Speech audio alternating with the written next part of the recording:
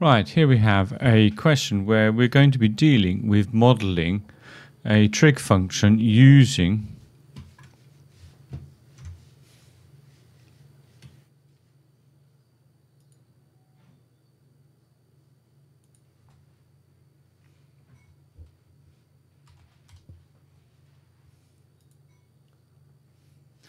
Right, here we're going to have modeling. We're going to be here we're going to be modeling a trig function using r cos x plus alpha. So we're going to express 10 cos theta minus 3 sine theta in the form r cos theta plus alpha, where r is greater than 0 and alpha is between 0 and 90. Give an exact value for r and the value for alpha to two decimal places. So the first thing to realize is we're going to be expanding r cos theta plus alpha and we expand that, we get a r cos theta cos alpha, and we get minus r sine theta sine alpha. Now, if we compare that to the expression we got, where we got 10 cos theta and we got a minus 3 sine theta, what we can see is we've got the cos bit here, which matches with here. And we've got the sine bit here, which matches with here. So therefore, what we're going to equate is the r cos alpha with 10, and then the r sine alpha with 3. Okay, so therefore 10 will equal r cos alpha, doing the light, the turquoisey bits, and then doing the light blue bits, we're going to get 3 equals r sine alpha. Now, we always know that r squared equals 10 squared plus 3 squared, so therefore r will equal the square root of 109.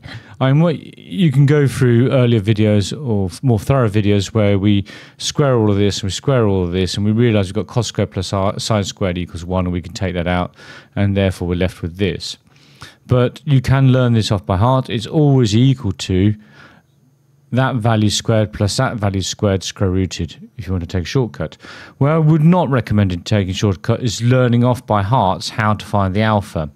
Now, if we do this equation, equation 1, and divide it by equation 2, we'll get tan alpha, because we've got sine alpha divided by cos alpha, and the r's will cancel, and that will give me tan alpha, and then we're going to get 3 the 3 here divided by the 10 here. And therefore we can get alpha's inverse tan of that, which comes out to be 16.7 degrees. Now moving on, we're going to now apply this to this Ferris wheel problem where it starts here, goes up, goes down, goes up. The height above ground, h meters, is starts turning is modeled by this equation, h equals, now this is a different alpha, not to be confused with that alpha, um, which a lot of my students did do. Minus 10 cos 80 theta t plus 3 sine 80 t. So it's going to be taking this away from the alpha. Now, we want to find a complete equation for the model. We know that initial time is 1 meter above. So t equals naught. Okay, B part 1. At t equals naught, we know that y will equal 1. Now, if we put t equals 0 into this expression, so t equals 0 into here, 80 times 0 is 0, sine of 0 is 0, so this is all 0. 80 times 0 is 0, cos of 0 is 1, so this is 10. So we know that we've got 1 will equal alpha minus 10 because this bit's equal to 10 and this bit's equal to 0.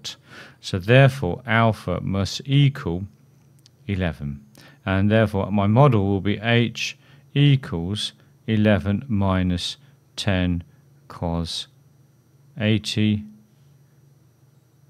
t minus plus 3 sine 80 t. And if we want to apply what we know from before to this, we know that this is just going to be the same as the, the 80t is going to be my theta. So I've got my r is going to be root 109 and I'm going to be taking this away because in here I've got a plus 10 and here I've got a minus 10. So I've got 11 minus root 109 cos 80t plus alpha, which is 16.70 degrees. That's for part one. For part two, hence find the maximum height of the passenger above the ground. Well, it's going to be when cos is equal to 1. So not 1 in this case, it's minus 1. Okay, because we're going to be taking that away. So it's going to be equal to 11. So for part 2, it will be equal to 11 plus the square root of 109. Which when you work that out, comes out to be 21.44 meters. All right, so let's just remember, cos for the maximum height want this to be its maximum negative value. Cos's maximum negative value is minus 1. Cos oscillates between 1 and minus 1. So when we come down to, um, if we want to get to here, we're going to actually have need cos to be minus because we're going to then take this away. So therefore we get plus 109 as our biggest value to add on to 11 and get this maximum height. Find the time taken to the nearest second for the passenger to reach the maximum height on the second cycle. Now what you've got to realise is this plus 16 degrees has shifted the whole cos curve left.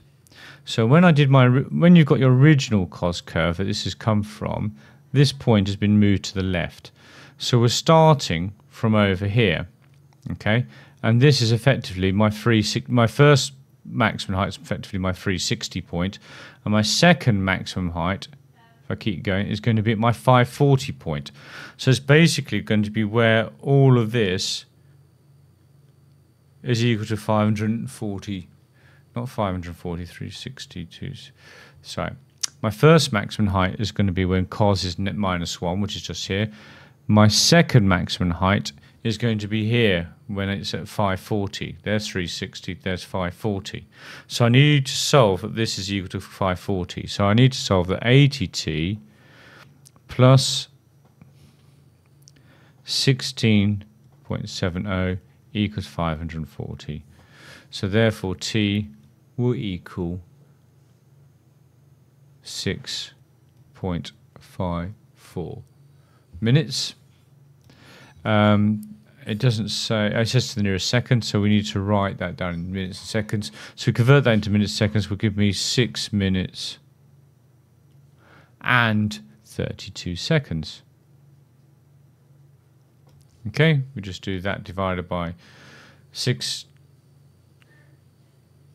So that uh, times by 60 to get my 32 seconds. Right, moving on to part D. How would you adapt the equation model to reflect this increased speed? So if it's increased speed, we're going to want more oscillations happening in less time. And the key thing that affects that is this part of the equation, the 80 part of the equation here. Okay, and to get more of those in, that number needs to increase. So therefore, the answer to that is that we would increase the 80.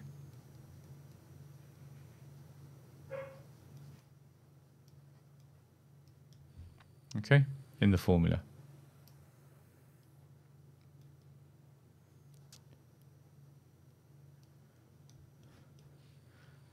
And there we have it. That's